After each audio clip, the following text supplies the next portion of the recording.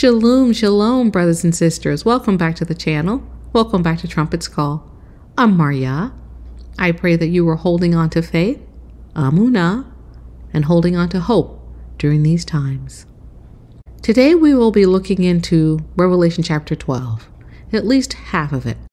We will be looking at Revelation chapter 12 as it relates to the woman and the man child. These astronomical images that are being portrayed to us, what do they mean? And what is the Most High communicating to us through these symbols and the other symbols in this book of Revelation? So we're going to talk about that today. So let's dig right in. Beginning reading Revelation chapter 12, verse 1. And there appeared a great wonder, or another word, better word, would be sign, a sign in heaven a woman clothed with the sun and the moon under her feet, and upon her head a crown of twelve stars. And she, being with child, cried, travailing in birth, and pained to be delivered. And there appeared another wonder in heaven, and behold, a great red dragon, having seven heads and ten horns, and seven crowns upon his heads and his tail drew the third part of the stars of heaven, and did cast them to the earth. And the dragon stood before the woman which was ready to be delivered, for to devour her child as soon as it was born. And she brought forth a man child, who was to rule all nations with a rod of iron, and her child was caught up unto Yahuwah and to his throne. And the woman fled into the wilderness, where she hath a place prepared of Yahuwah, that they should feed her there a thousand two hundred and threescore days. That's twelve hundred and sixty days. And there was war in heaven. Michael and his angels fought against the dragon, and the dragon fought and his angels, and prevailed not. Neither was their place found any more in heaven. And the great dragon was cast out that old serpent called the devil and Hasatan, which deceiveth the whole world. He was cast out into the earth, and his angels were cast out with him. And I heard a loud voice saying in heaven, Now is come salvation and strength and the kingdom of our Eluah and the power of his Mashiach. For the accuser of the brethren is cast down, which accused them before Eluah day and night and they overcame him by the blood of the Lamb and by the word of their testimony, and they loved not their lives unto the death. Therefore rejoice, ye heavens, and ye that dwell in them. Woe to the inhabitants of the earth and of the sea! For the devil is come down unto you, having great wrath, because he knoweth that he hath but a short time. And when the dragon saw that he was cast unto the earth, he persecuted the woman which brought forth the man child. Okay, we'll stop reading there in verse 13. So today we're going to be talking about the woman and the man child. Now, this is the image that we see being portrayed to us in these verses of scripture. In the beginning verses, we see this woman, she's pregnant, she is in pain to be delivered, she is in anguish, she has a crown of 12 stars on her head. She is being clothed with the sun or being bathed in sunlight, and the moon is under her feet. And there's this dragon that's right there at her feet, waiting to receive this child that she's about to bring forth so that it can be destroyed. So, this is the symbology that we're seeing here in the beginning verses of Revelation chapter 12. But who is the woman? If you were to consult many Christian commentaries, they insist that the woman is the church. They insist that the woman is the church. And then if you ask them who the 12 stars are, they would say the 12 stars represent the 12 tribes. So the 12 tribes were birthed by the church? I, I don't see that. That doesn't make any sense. Okay? So let's go to Scripture and allow Scripture to speak about who the woman could possibly be or represent. We're going to be reading in Song of Solomon, chapter 6, verses 8 through 10, and we're reading from the Berean Standard Bible Version. There are sixty queens and eighty concubines, and maidens without number. But my dove, my perfect one, is unique, the favorite of her mother who bore her. The maidens see her and call her blessed, Baruch. The queens and concubines sing her praises. Who is this who shines like the dawn, as fair as the moon, as bright as the sun, as majestic as the stars in procession? So we see in these verses of scripture, we see a man who has many maidens and concubines, but there's one that he has that's his favorite. And his favorite, she shines like the dawn, is as fair as the moon, bright as the sun, and as majestic as the stars. This, brothers and sisters, points toward the nation of Yasharal. As the Most High has allowed other nations to come and partake of his bounty of grace through his son Yahusha, the nation of Yasharal will always be his favorite. And so this is the picture we see represented here as the woman in Revelation chapter 12.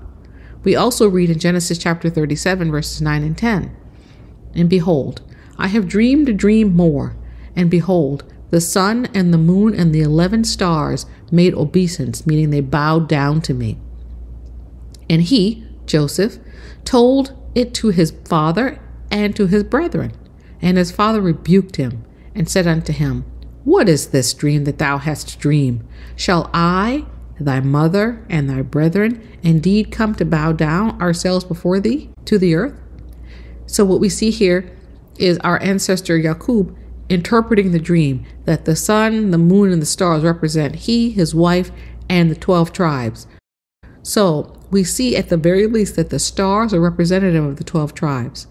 But the nation of Yasharal is also referred to as the woman, and also the city of Yerushalayim, Jerusalem, is referred to as a woman. Okay, a woman pained to be delivered.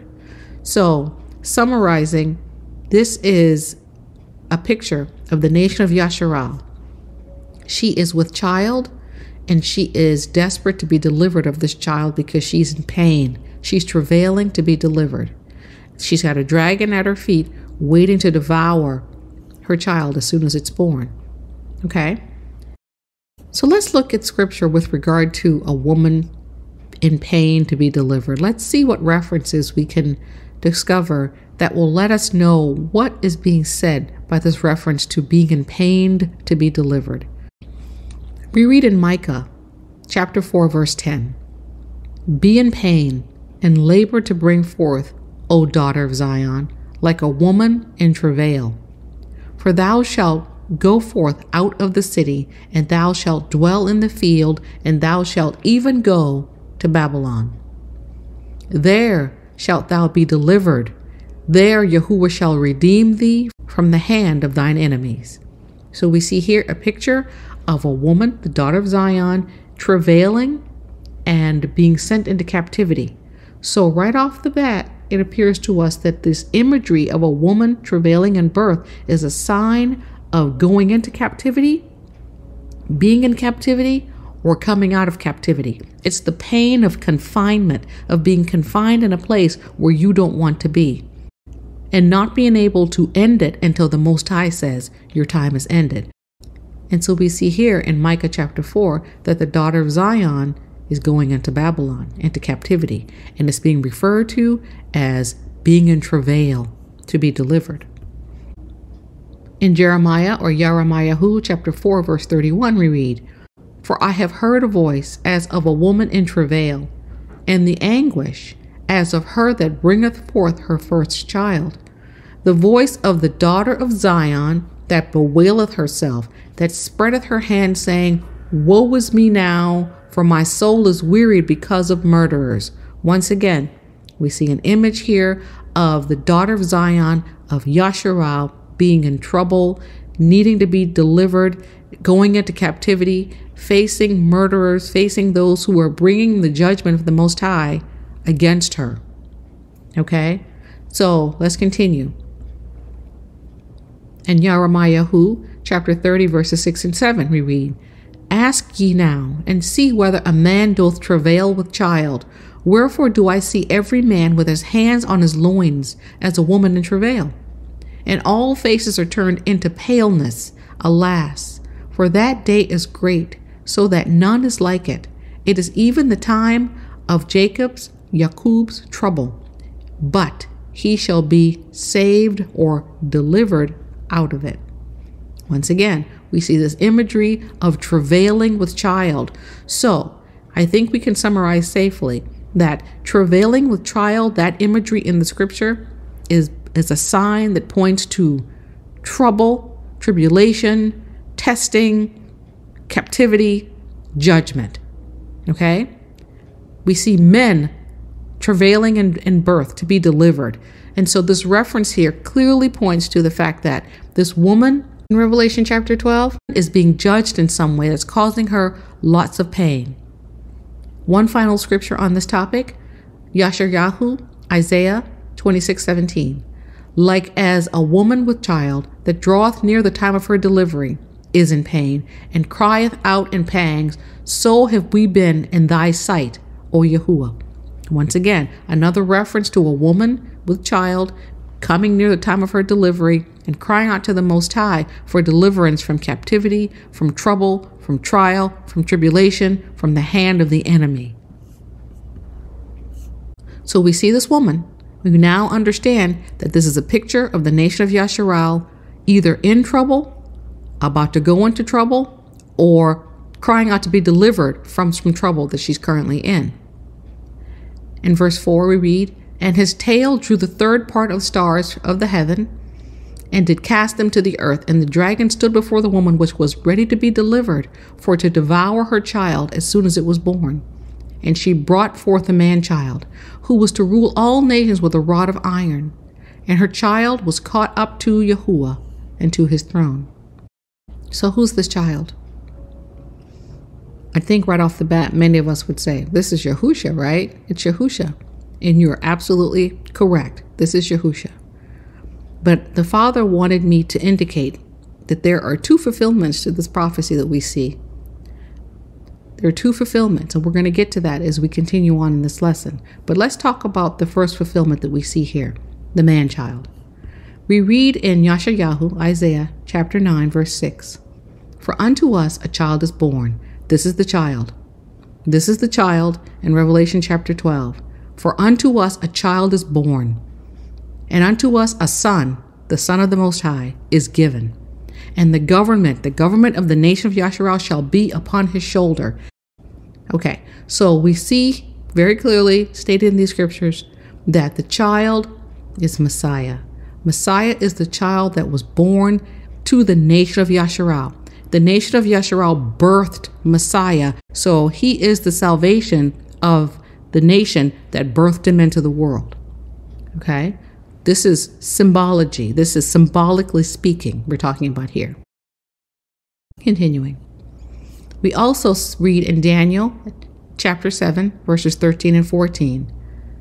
We're seeing an image here of the Ancient of Days, who is the Father himself. He sits on his throne and he's being ministered to by myriads upon myriads upon myriads of angelic hosts. And it reads I saw in the night visions, and behold, one like the Son of Man came with the clouds of heaven, and came to the Ancient of Days, and they brought him near before him. So the angels are bringing Yahusha near unto the Ancient of Days. And there was given him dominion and glory and a kingdom that all people, nations, and languages should serve him. His dominion is an everlasting dominion which shall not pass away, and his kingdom that which shall not be destroyed. So we see here this idea of the kingdom being given unto him, and he will rule all nations with a rod of iron. We see this child that's been given. He is the Son of the highest that's been given for the nation of Yasharal, and he will sit on the throne of his father David and rule in righteousness forever and ever and ever. So he will rule all nations with a rod of iron. So we know who the woman is, we know who the child is, and we can see the child ruling on the throne of his father David. And we see the child who is now an adult who has grown into his maturity, learned obedience through the things that he suffered, who was faithful unto death, and who was rewarded and given a name above every human name. and given a kingdom that will last forever. Verse 6 And the woman fled to the wilderness, where she hath a place prepared of her of Yahuwah, that they should feed her there a thousand two hundred threescore days. And there was war in heaven. Michael and his angels fought against the dragon, and the dragon fought and his angels, and prevailed not, neither was their place found any more in heaven. Okay, so we see here the image of the dragon. The dragon having seven heads and ten horns upon his head, and then seven crowns. This also is imagery. It's not an actual dragon, it's imagery. It's pointing to something. So, what's it pointing to? Let's read Daniel chapter 7, verse 7. And after this, I saw in the night visions, and behold, a fourth beast, dreadful and terrible, and strong exceedingly, and it had great iron teeth. Just a note here that iron is a reference to Rome. Iron in the scripture is always a reference to Rome. Continuing. It devoured and brake in pieces and stamped the residue with the feet of it, and it was diverse from all the beasts that were before it, and it had ten horns. So in Daniel chapter 7, we read about the four beasts, and this is the fourth beast that Daniel is describing. And he's saying that it's different from all the beasts that have gone before it. And what we see in this fourth beast is the dragon in Revelation chapter 12. They're the same. Even though it may not look the same, they're the same. And you have a picture on the screen of Daniel's fourth beast. It has seven heads and ten horns. Heads in the scriptures represents kingdoms, and so do mountains, leaderships, kingdoms, and horns in the scriptures represent power or authority or might. And what we see there is an amalgamation of all of the kingdoms that have gone before. We have the Babylonian kingdom and the Medes and the Persians and the Greeks and the Romans all rolled up into one big unholy mess, essentially. Kingdoms ruling. So the Babylonians began to rule, but they ruled having taken some of their pagan idolatry from the Egyptians, okay, that predated them. And then the Medes and the Persians defeated the Babylonians, and they took some of the pagan revelry and the pagan practices from the Babylonians and the Egyptians and the Assyrians, and they brought it in, into their rule. When the Medes and the Persians were defeated by the Greeks, the Greeks adopted everything that had come before them. And then finally, the Romans. The Romans took and adopted everything that had come before them the Assyrian doctrine, the Babylonian doctrine, the Medes and the Persian, the Medo Persian doctrine, and also Greek thought. All of that was enculturated and amalgamated into this Roman idea and this Roman ideal. And that is why it's a beast. It's a combination of different things, different ideas, religious ideas. Okay? That is why it's a beast. It's Daniel's fourth beast. And Daniel's fourth beast is the dragon. The dragon empowers it and rules and reigns over it. That's why we see the picture of a dragon. So we see this fourth beast represented as the dragon in Revelation chapter 12 that's about to devour the child as soon as the child is born. And this is a picture of Rome. This is a picture of Rome under the rule of Herod the Great attempting to destroy the man child Yahusha as he was born. The father protected him he served his mission and he was caught up to the Father's throne. Okay? This is what we see. We see the Medes and the Persians and the Babylonians and the Greeks and the Romans, all of these political powers being wrapped up in this Roman Empire that is still ruling today. It is still ruling. Still. Some people say it passed away, but it did not. It split into East and West, but the Western Roman Empire is alive and well in the United States and in Europe. The Eastern Roman Empire is alive and well in Russia and China. You see the coming battle that's coming between East and West? It's spiritual, brothers and sisters. It's all spiritual. Okay?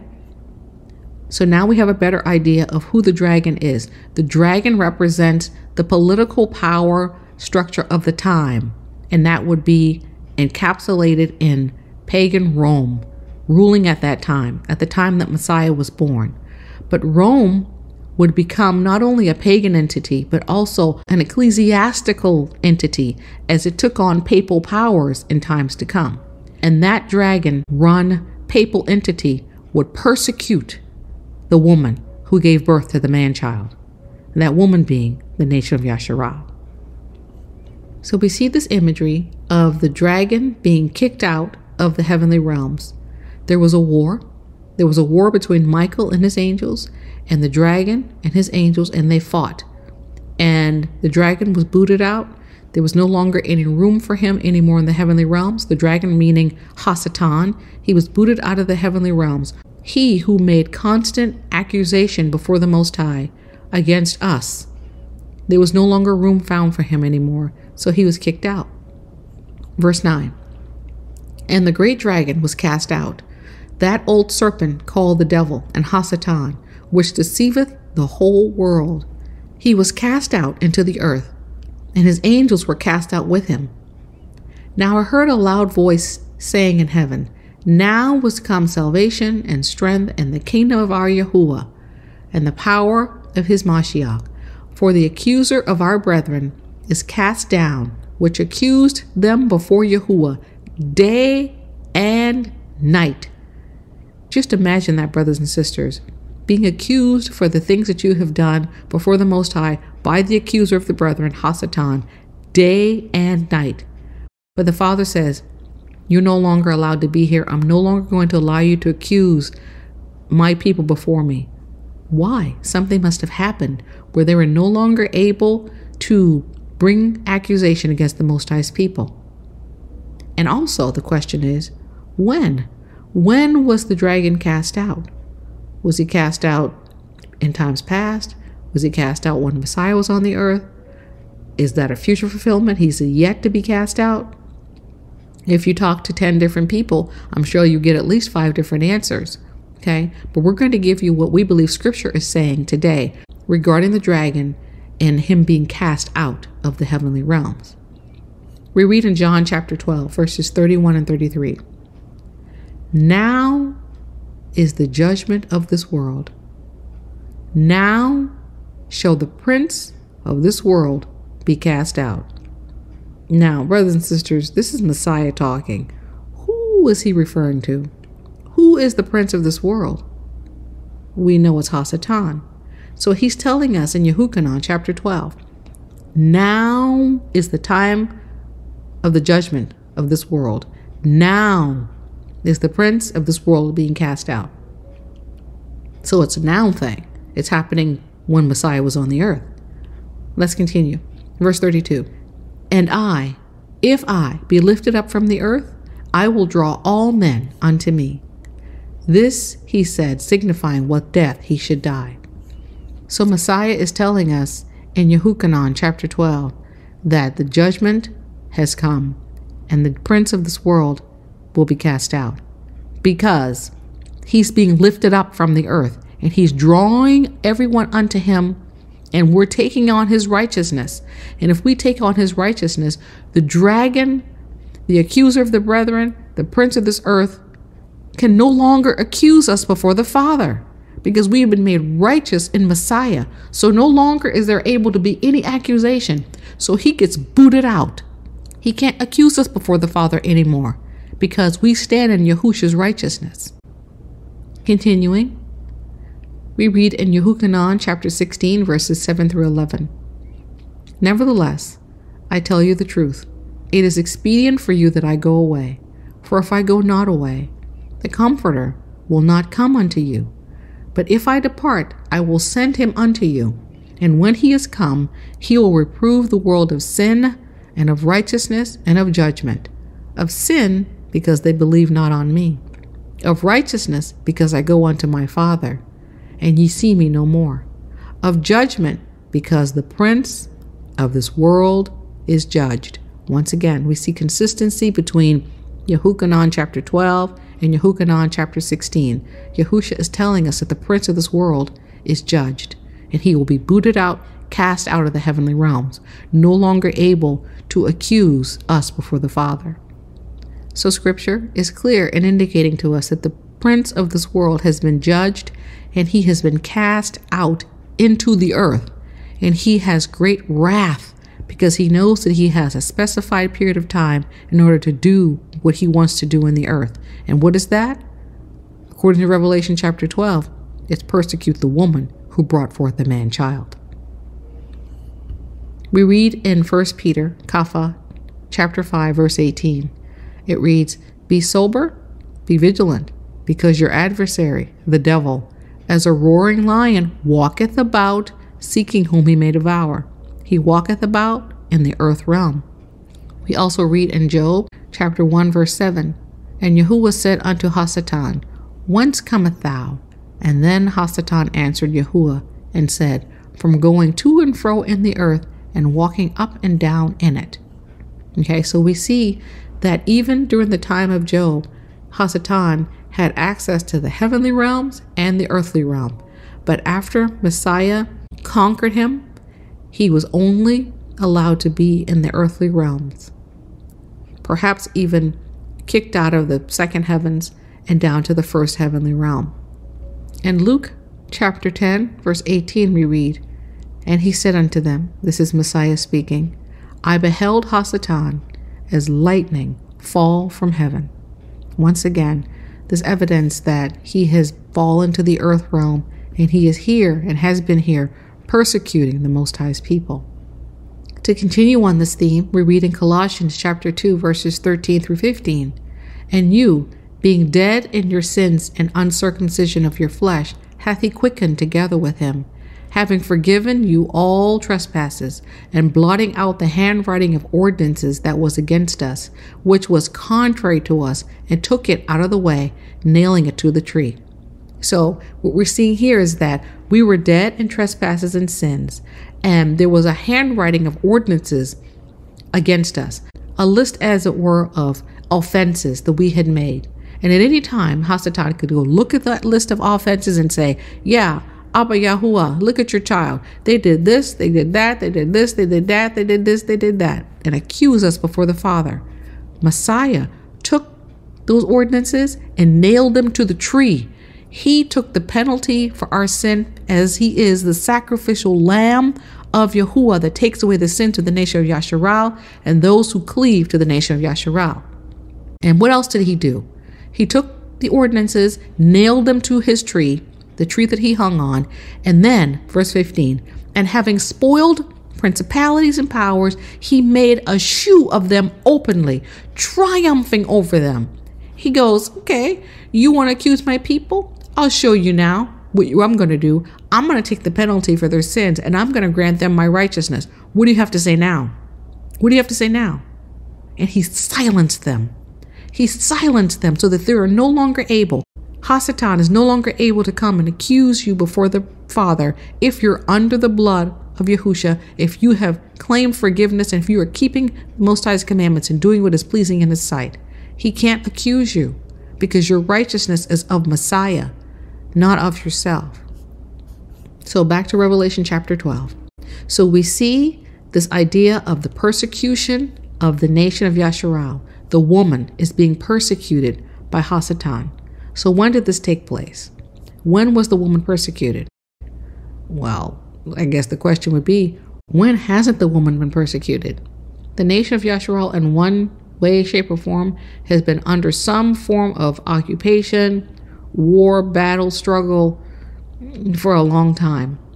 And some of it, part of it, most of it, is due to our sinning against the Most High and the Most High allowing our enemies the dragon, to come against us and to defeat us.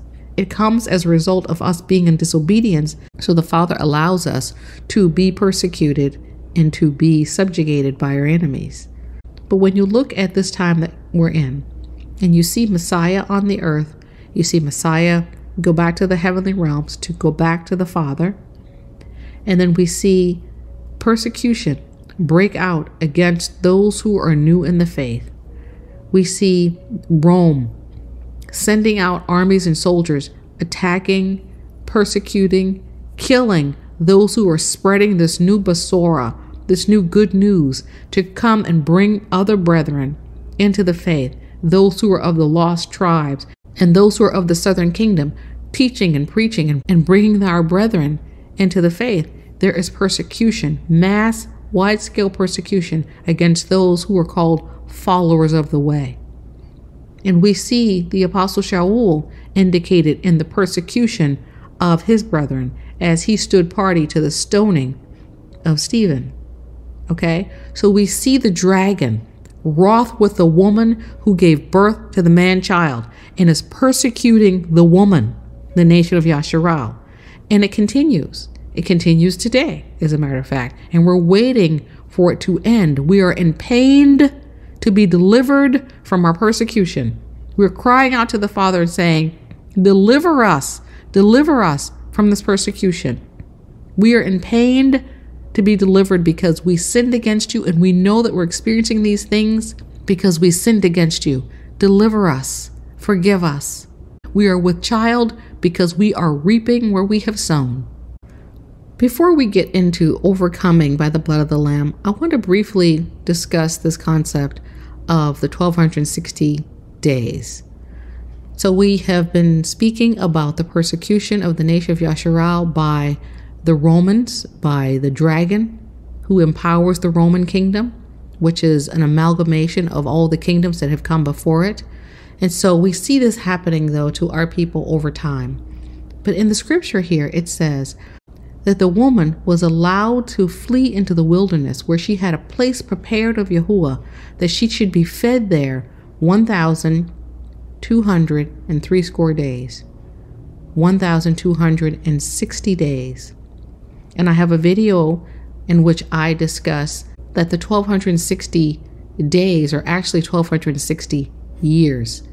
And that those faithful who were able and allowed to escape the Roman Hebrew War that ensued and the judgment that came, the enslavement and the wide scale death and destruction that came to our people in the Roman Jewish Hebrew War, they went into Europe, many of them.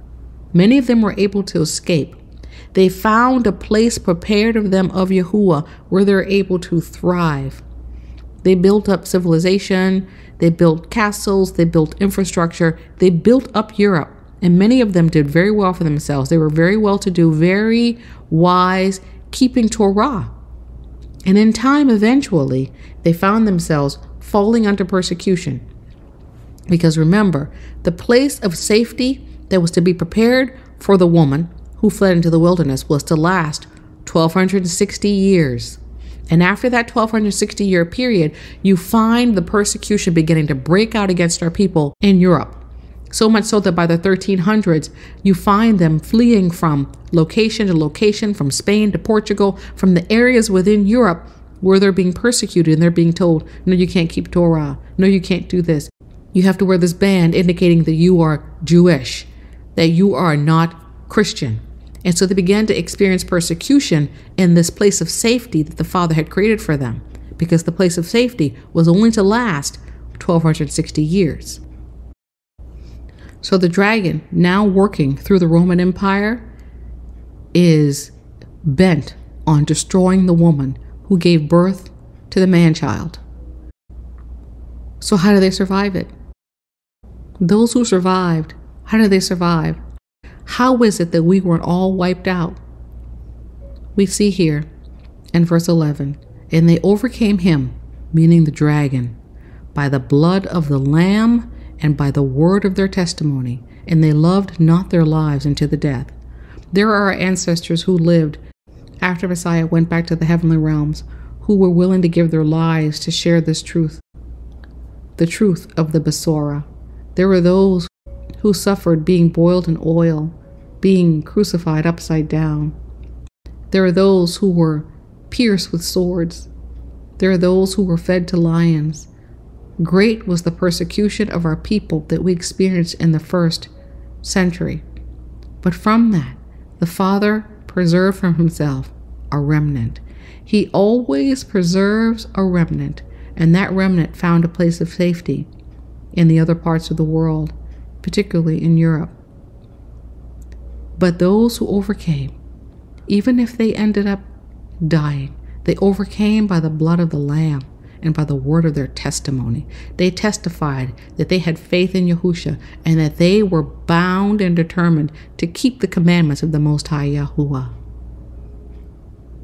Continuing. Reading in Yashayahu, Isaiah chapter 66, verses 7 through 10. Before she travailed, she brought forth. Before her pain came, she was delivered of a man child. Who hath heard such a thing? Who hath seen such things? Shall the earth be made to bring forth in one day? Or shall a nation be born at once? For as soon as Zion travailed, she brought forth her children. Shall I bring to the birth, and not cause to bring forth, saith Yahuwah? Shall I cause to bring forth and shut the womb? saith Yahuwah. Rejoice ye with Jerusalem, and be glad with her, all ye that love her. Rejoice for joy with her, all ye that mourn for her.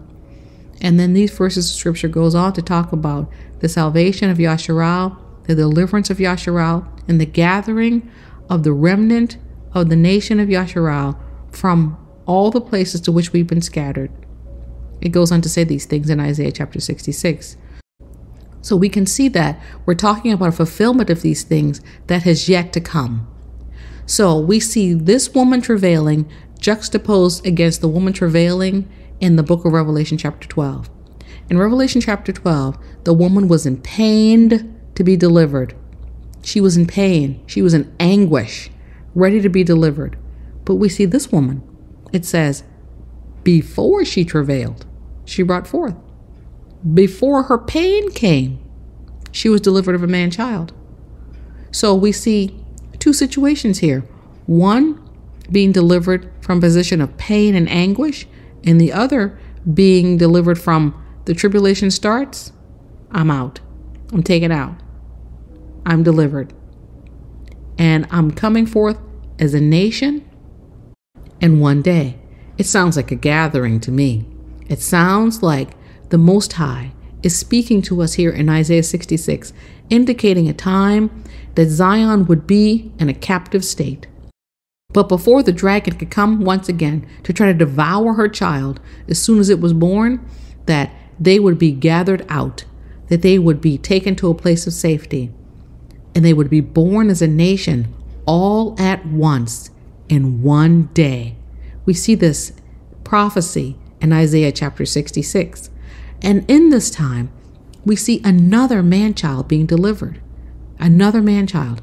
We know that the man child in Revelation chapter 12 is Yahusha, the child and the son that was given. But who is this child in Yashayahu chapter 66? Seems to me as if the nation of Yasharal is yet again birthing another son, another child. Let's take a look. Reading in Revelation chapter 11. And there was given me a reed like unto a rod, and the angel stood, saying, Rise and measure the temple of Yahuwah, and the altar, and them that worship therein. But the court which is without the temple, leave out, and measure it not, for it is given unto the Gentiles, and the holy city. They shall tread under foot forty and two months. Okay, I wanted to make a note here that this measuring that's happening, this measuring of the temple, is an indication of the act that occurs before judgment commences. Before the Most High brings judgment upon his nation, he always throws down a plumb line. And that is what this measuring is referring to. It's referring to the plumb line measuring, where the Most High measures his nation against his standard. And if they're found lacking or wanting, they go into judgment, they go into captivity, and the like. And so you see here those that are on the altars, in the altars, in the inner courts, and in the most holy place, they're safe, they're spared. But those who are in the outer courts, those who are fake and phony, those who are pretending to be in the faith and aren't in the faith, those who are pretending to keep the commandments and aren't really keeping the commandments, the scripture says that those areas are given unto the Gentiles and they'll be trampled underfoot for 42 months. And indeed, Jerusalem was compassed with armies and under siege for five months before they were finally defeated. But we see that this is a picture of the Most High telling his nation that judgment is coming. These terms and these symbols are very Hebraic. And when you read them from a Hebrew perspective, you can see what the Father is saying. So in Revelation chapter 11, we see the plumb line. We see an indication that the temple, which temple we are, we are the temple of the Most High, is about to be weighed in the balance. And if found lacking, those who are found lacking will fall under judgment. But Messiah gave warning to his disciples, and his disciples gave warning to their followers, and to their family members, and to their friends. Messiah said, When you see Jerusalem compassed with armies, flee to the mountains, get out of Dodge. And those who heeded were safe. Continuing. And I will give power unto my two witnesses, and they shall prophesy 1,200 threescore days, 1,260 days, clothed in sackcloth. These are the two olive trees and the two candlesticks standing before the Eluah of the whole earth. Those who are the two olive trees and the two candlesticks are the northern tribe and the southern tribe of the nation of Yasharal. So the two witnesses of the Most High are the northern tribe and the southern tribe, but not all of them. The Father chooses for himself those whom he deems faithful out of the 12 tribes. So out of the tribe of Judah, he chooses 12,000. Out of the tribe of Issachar, he chooses 12,000. Out of the tribe of Ephraim, he chooses 12,000, and so on and so forth. So we see this idea of the Most High specifying within the larger nation of Yasharal those who are to be called out for a particular service unto the Most High. And I submit to you, brothers and sisters, that this is the man child of Isaiah chapter 66. The man child of Isaiah 66 are those who are chosen by the Most High to be the special messengers of His Son. They're chosen to bring forth the Besorah. They're chosen to do mighty deeds and mighty works and mighty acts. They're chosen to follow the Lamb whithersoever he goeth. They are those who are strong and mighty, and when they speak, they have the power of the Most High that follows those words that they speak. These are symbolized by the 144,000 in the scriptures. Verse 5 and if any man will hurt them, fire proceedeth out of their mouth, fire being the Torah of the Most High, and devoureth their enemies. And if any man will hurt them, he must in this manner be killed. These have the power to shut heaven, that it rain not in the days of their prophecy, just like Elijah. And they have power over waters to turn them to blood, just like Moses, Masha, and to smite the earth with all plagues as often as they will and when they shall have finished their testimony, this dragon, the dragon that has persecuted the woman for a long time, this dragon kills them, causes them to be put to death. And their dead bodies lie in the streets of the great city called Sodom in Egypt, where our was crucified, and that city is Jerusalem. And all the kindreds of the earth and the tongues and nations shall see their dead bodies three days and a half, and shall not suffer their dead bodies to be put in graves. And they that dwell upon the earth shall rejoice over them, and make merry, and shall send gifts one to the other, because these two prophets tormented them that dwelt on the earth. And after three days and a half, the Ruach of life, the Spirit of life, from Yahuwah, entered into them, and they stood upon their feet and great fear fell upon them which saw them. And they heard a great voice from heaven saying unto them, Come up hither. And they ascended up to heaven in a cloud, and their enemies beheld them. Brothers and sisters, what we're seeing here is an image of the man child that was born to be conformed to the image of Messiah. These are those who are virgins. These are those who follow the Lamb whithersoever he goeth. These are sons of the Most High. These are those who have been so conformed to Messiah, that they follow the very pattern of his life. Messiah was sent to bring forth the message and the word of the Father. These are sent to bring forth the message and the word of the Father. Messiah was sent with power and authority. These will be sent with power and authority. Messiah was allowed to be killed by the Roman beast system. These will be killed by the Roman beast system. Messiah resurrected three and a half days later. These will resurrect three and a half days later. They follow exactly the pattern of Messiah. And they are those who will sit on his right hand and his left hand in glory. These are those who are called overcomers. As we read in Revelation chapter 2 and 3, Messiah talks to the seven assemblies and says, For him that overcome, I will give this gift and that gift. To him that overcomes, I will do this and I will do that. These are the overcomers. These are they who have overcome and have partaken of the bounty that is the blessing of the Most High, and they are now deemed sons of the Most High Yahuwah. And as Messiah was in the world, so are they. They have been so conformed with him that they stand with him on Mount Zion, as in Revelation chapter 14. They are his bride, brothers and sisters. They are his bride. They are the sons of the Most High, and they are the bride of Messiah. They have been chosen.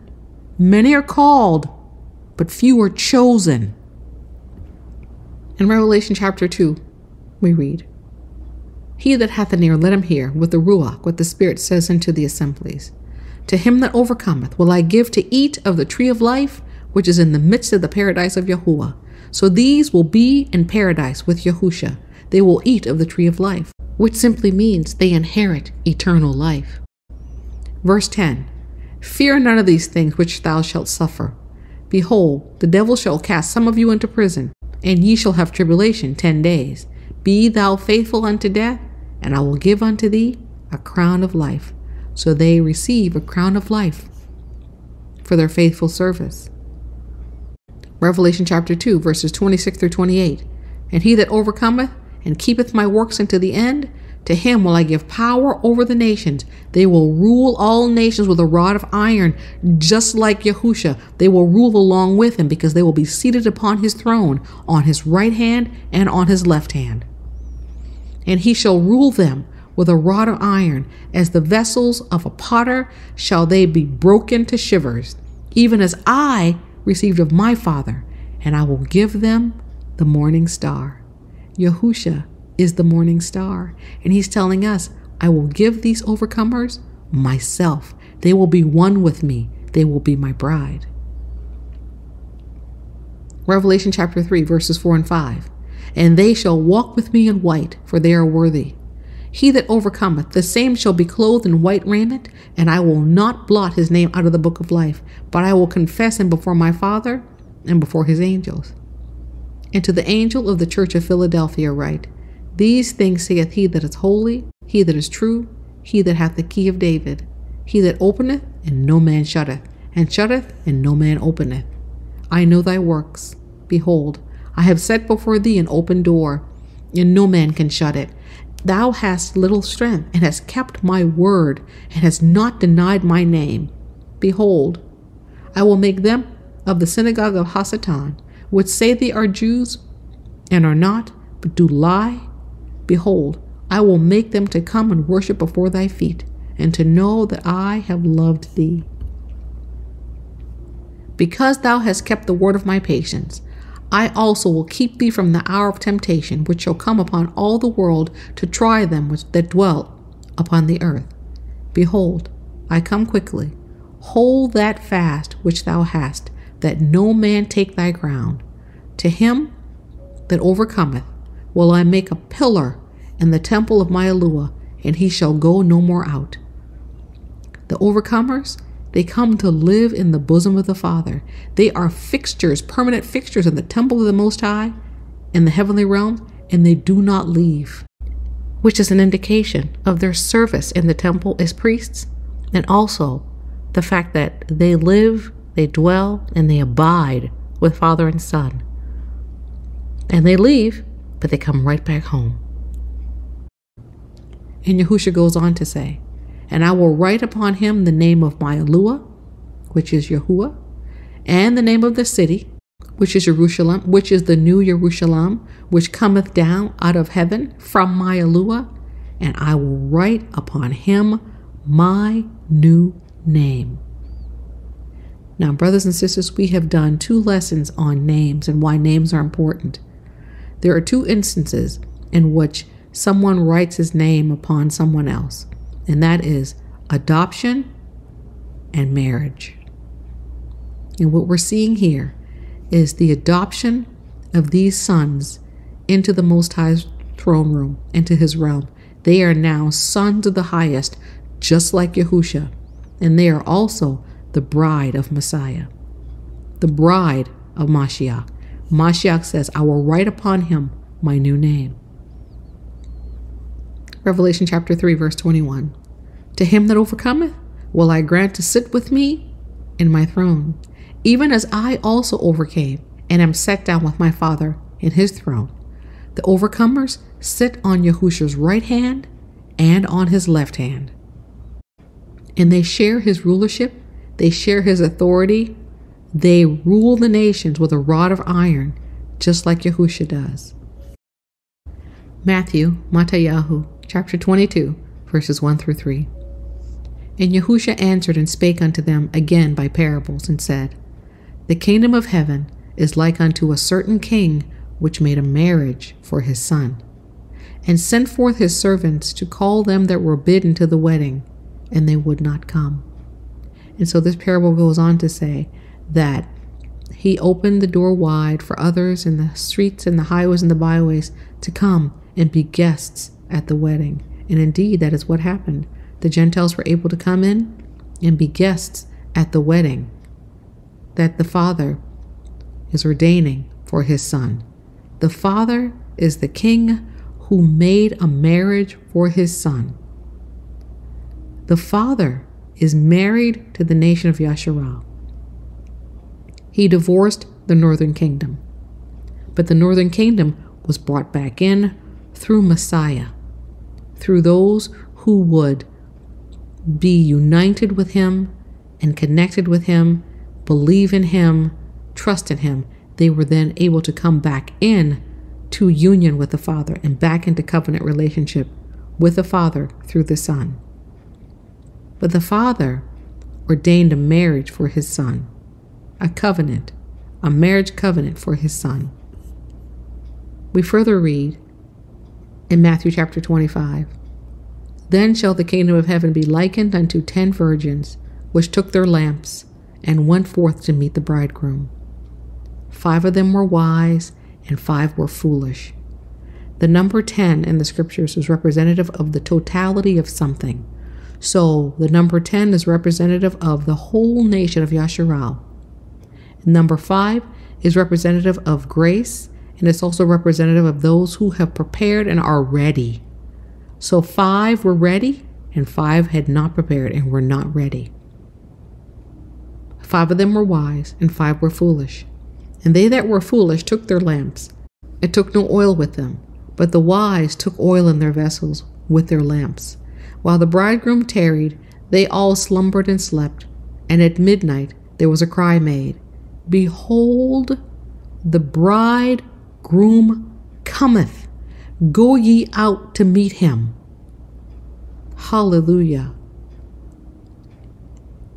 So you know the story.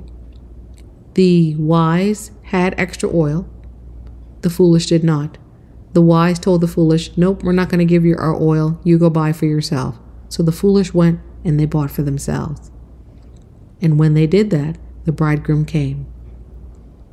Verse 10 and while they went to buy, the bridegroom came, and they that were ready, they that were ready, went in with him to the marriage, and the door was shut.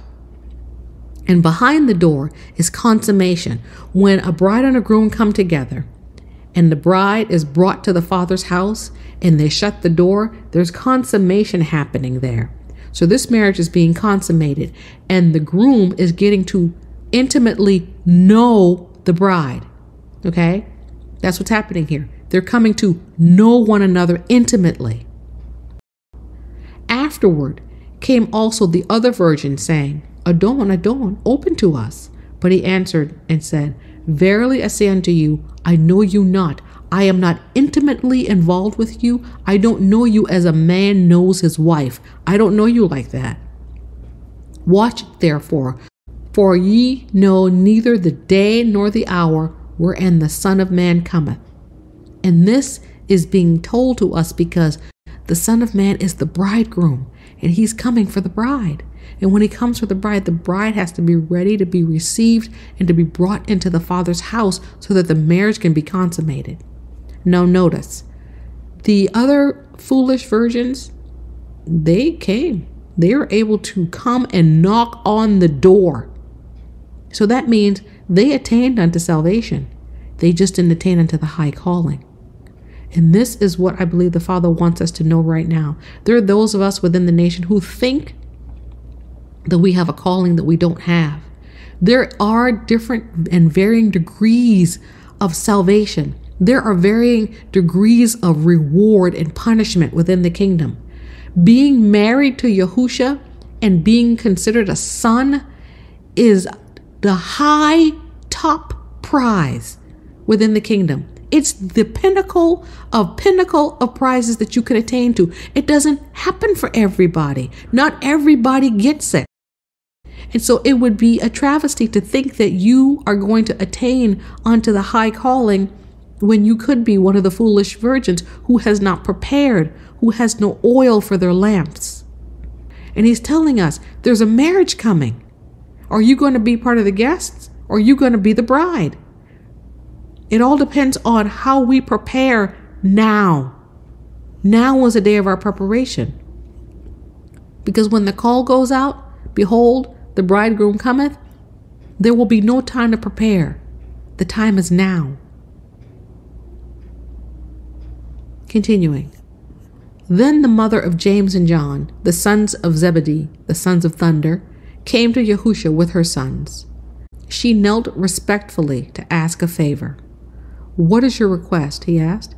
She replied, In your kingdom, please let my two sons sit in the places of honor next to you on your throne, one on your right and the other on your left. But Yahusha answered by saying to them, You don't know what you're asking. Are you able to drink from the bitter cup of suffering that I am about to drink? Notice, brothers and sisters, those who sit in the places of honor next to the Messiah, on the right hand, on the left hand. Messiah is saying, You're going to go through some things. You're going to be asked to drink from this bitter cup of suffering that I am drinking from. You are going to have to be conformed to my image. You may have your body laying out in the streets for three and a half days without having someone put it in the grave. You may be beheaded. You may be hung on a tree. You may have these things happen to you in order to attain unto this high calling. He's saying, You don't know what you're asking. Are you able to drink from the cup that I'm drinking from? And, and they replied, Yes, we are able. And he told them, You indeed will drink from this bitter cup. You will. But I have no right to say who will sit on my right hand or my left. For my Father has prepared those places for the ones that He has chosen. Why? Because it is the Father who is making a marriage for His Son, and the Father chooses the bride. The Father chooses the bride for His Son. Hallelujah. The Father is making a marriage for His Son, Yahusha, and the Father chooses the bride. And right now, the Father is looking high and low throughout the whole earth, choosing those whom He has said, This one, that one, that one. You are all going to be part of the bride of my Son. And those will sit in places of honor in the kingdom on Yahusha's right hand and on his left. And they, along with Yahusha, will rule over the nations with a rod of iron. They are the child that's being born, that's being birthed out of the nation of Yasharal, as foretold in Isaiah chapter 66. 1 Corinthians chapter 15, verses 22 through 28. As in Adam, Adam, all die. Even so, in Christ, in Mashiach, shall all be made alive, but every man in his own order. Christ or Mashiach, the first fruits, and afterward they that are Mashiachs at his coming. I'm going to pause here because I believe that there is something that's missing from this verse of scripture. And it's something very simple it's a comma. It's a comma. And this is what I mean by that. Here we see the Apostle Shaul giving us a list. He's telling us everyone's going to be revived and resurrected, but everyone has to wait their turn. Okay? Messiah is first on the list. Messiah was resurrected first. Okay? And then he's saying, and then this, and then this, and then this. He's giving us a list of who goes first, who goes second, who goes third, so on and so forth. It's not much of a list if you only get two choices. So, as if to say, everybody has to wait their turn. First I go, then all you millions. That that's not much of a, differentiation. It's not much of a differentiation at all. Okay? It's not worthy of saying this is a list. But when you look at this list that the Apostle Shaul is giving us, there's another way to read that. What if we read it this way? Mashiach, comma, the first fruits, comma, afterward they that are Mashiachs at his coming. It's possible. It's possible that you have Messiah who's resurrected first, and then you have those deemed the first fruits, the overcomers, the bride, those whom the Father has chosen to sit on Messiah's right hand and on his left. And then also those who belong to him when he returns to the earth at his coming. So that would be three categories Messiah first, then the first fruits, and then those who are his at his coming. And what are the first fruits? The first fruits are those who have ripened on the vine first. They are representative of the barley harvest. The barley harvest is the first harvest in the year, in the spring, and the barley ripens before anything else. These are representative of the barley. And then the larger harvest happens at the wheat harvest in the summertime, in the early summer. The barley harvest relates to first fruits, and the afterward and the harvest that comes afterward relates to the wheat. That's the majority of the harvest. That's the majority of the people of the nation of Yasharal would fall into that category. Many are called, but few are chosen. Okay? Continuing. So we see the Apostle Shaul praying that he could attain to this high calling. We see him saying in verse 9 that he desires to be found in him, meaning Messiah, not having mine own righteousness, which is of the law, which is Torah, me trying to attain unto righteousness by trying to keep the Torah in my own strength, but that which is through faith of Yahusha, Hamashiach, the righteousness which is of Yahuwah by faith, that I may know him, that I may be intimate with him, that I may know him as a man knows a woman, or as a woman knows a man, that I may know him. That Greek word is gnosko, that I may gnosko him, that I may know him, and the power of his resurrection. Now, we just read a moment ago about those who receive the resurrection first. First, Messiah, then the first fruits, then there are those who belong to him as he returns back to the earth. And the fellowship of his sufferings. Do you see this, brothers and sisters? That the Apostle Shaul recognizes that in order to be conformed to the image of, of, Messiah, in order to be chosen as his bride, in order to attain unto the high calling, it takes a certain measure of suffering to be conformed to the image of Messiah because we learn obedience in the things that we suffer. He knew that. And so he's indicating here that we're being united with Messiah through the fellowship of his sufferings. And we're being made conformable unto his death. And then he goes on to say, If by any means I might attain unto the resurrection of the dead.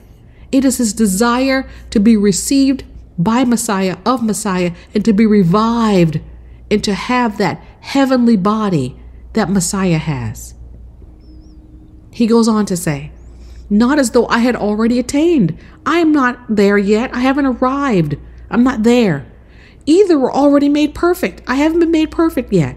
But brethren, he goes on to say, I count not myself to have apprehended it, but this one thing I do, forgetting those things which are behind, I reach forth, I reach forth into those things which are before me, and I press toward the mark of the prize of the high calling of, Yahuwah in Yahushua HaMashiach.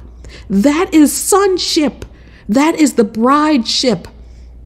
That is sitting on Messiah's right hand and his left hand. It is the it is the prize. It is the highest of the highest prize offered by the Father to be conformed to the exact image of his Son, to be chosen as his bride, and to rule and reign with him, sitting on his throne. That is the pinnacle, it is the peak. And that is what the Apostle Shaul is striving for. He tells us, I'm pressing forward to the mark of the prize of the high calling. He's saying, I want that high calling. I want to be conformable unto Messiah. I'll suffer with him, he's saying. I want to be resurrected and I want to know him intimately. This is what he's saying. They don't teach us this in Christianity. In Christianity, everybody's the bride. In Christianity, as long as you say the sinner's prayer, you're the bride. Mm-mm, not so. Not so, not so. The Father chooses the bride for his Son and not everyone will be chosen. In the same way, the Most High chose the nation of Yasharal, but not everyone was a Levite. The Levites were chosen for special service unto the Most High, but not everyone in the nation got chosen to be a Levite. Only the Levites were Levites, and not everyone will be chosen to be the bride of Mashiach, to have this high calling. It is a choice made by the Father. It's a choice made by the Father. Our job is to do what we can to make ourselves ready. Our job is to be like those five wise virgins who have our lamp and extra oil. So that when the call goes out, behold, the bridegroom cometh, we're ready. We wake up from our slumber, we trim our lamps, and we're ready to go meet the bridegroom. Hallelujah. One final verse of scripture for today Revelation chapter 19, verse 7. Let us be glad and rejoice and give honor to him, for the marriage of the Lamb is come, and his wife hath made herself ready. May we, brothers and sisters, seek after that high calling, that high calling which is to be united with Messiah in marriage. The nation of Yasharal is already married to the Father. Messiah was sent by the Father to be the mediator of a new and better covenant based on better promises, and he is the ratifier of that covenant made in his blood. We have that renewed covenant through him, and those who believe in him by faith partake of that new covenant. And we get to be the Father's children and live in the new Jerusalem if we are so fortunate to gain proximity. But within this covenant, there's a promise of something greater. There's a promise of sonship, of bridehood with the Son, as the Father sets out to make a marriage for his Son. The Father is choosing from the remnant seed of the daughter of Zion, a bride for his son. And those who were chosen will be just like him. They will look like him and act like him and talk like him and think like him and live in the Father's bosom just like he does. It truly is the highest of the highest of callings. Hallelujah. May we be so baruched as to be chosen for this high calling, to be able to escape to the Son and be united with Him forever. Hallelujah. Well, I thank you, brothers and sisters, for joining me once again on the channel and for another teaching in our Revelation series. We will continue on in this Revelation series, Revelation chapter 12, as the Most High leads. But for today, this is what He wanted me to bring out that there is a marriage that's coming. The Father is making a marriage for His Son, and not everyone's invited. Not everyone gets to be a part of the bridal group. But if we're so baruched, we'll get to be a part of the guests as we get to feast during the bridal week. Hallelujah. Some of us in union with the Son as his bride, and others as friends and relatives of the bride and of the groom. There's a wedding coming, brothers and sisters. There's a wedding coming. Are you invited? And if you are, are you coming? Make sure you get your bridal garment ready. Hallelujah. May the Most High Baruch keep you, brothers and sisters. May he make his face to shine upon you and be gracious unto you. And may he lift up his countenance upon you and grant you shalom, shalom, peace in every area. And may we prepare ourselves to meet the bridegroom. And may we be so baruched as to be chosen of the Most High, to be conformed to the image of his Son. Shalom and shalom, brothers and sisters.